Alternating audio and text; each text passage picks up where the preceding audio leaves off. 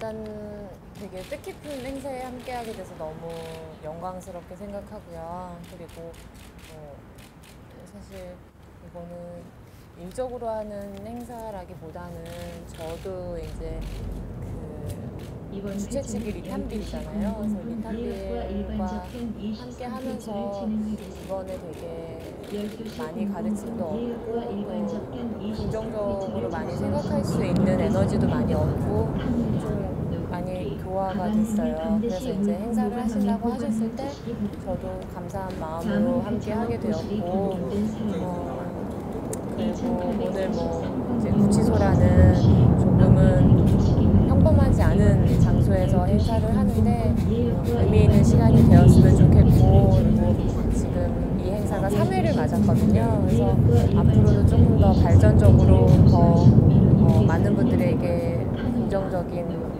힘이 되는 행사가 되었으면 좋겠어요. 처음에 형사 고소를 진행한 거는 벌써 한 6개월 넘게가 지난 거예요. 근데 그 과정 을 진행하면서도 사실 방송을 계속 했었었고 그 전에 힘든 시간을 보내면서도 어쨌든 방송을 계속 했었었고 방송이나 제가 하는 일에 대한 거는 이 일과 무관하게 계속 열정적인 마음을 가지고 있고 지금도 한 번도 마음이 떠나본 적이 없어요. 그래서 그럼요. 그래서 어, 기회가 되고 또 제가 음, 뭔가 어, 조금 더 지금보다 정리가 된다면 다시, 다시 방송 빨리 찾아뵙고 싶어요.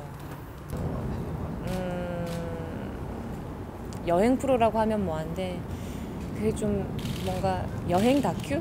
네, 좀 그런 저 자신을 좀 많이 있는 그대로 보여드릴 수 있는 많이 느낄 수 있는 프로그램을 한번 하고 싶어요. 지금은 이렇게 물론 쇼 프로도 좋고 예능 프로도 좋지만 그런 과정이 한번 필요하다고 생각하고 그리고 진짜 너무 하고 싶은 건 어, 새로 뷰티 프로그램을 다시 네, 하고 싶어요. 네.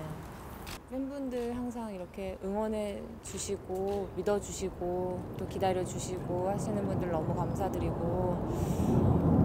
어, 대중 대중이라고 생각하면 물론 이제 차가운 시선도 있으실 수 있고 아직은 오해가 풀리지 않은 부분들도 있을 수 있는데 제가 이렇게 요즘에도 계속 이렇게 용, 용기를 좀 가지고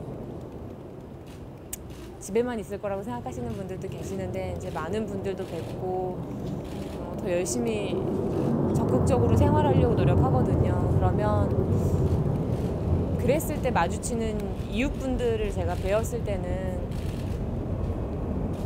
차가운 시선을 많이 느끼지는 않았거든요. 그래서 사실 이웃이 모이고 모여서 대중이 되는 거니까 많은 분들이 아직은 오해가 있으셔도 그렇게 따뜻하게 봐주실 거라고 생각하고 저도 이제 앞으로 남은 재판이라든지 많은 것들에 있어서 그런 기대에 실망시켜 드리지 않도록 최선을 다할 생각이에요.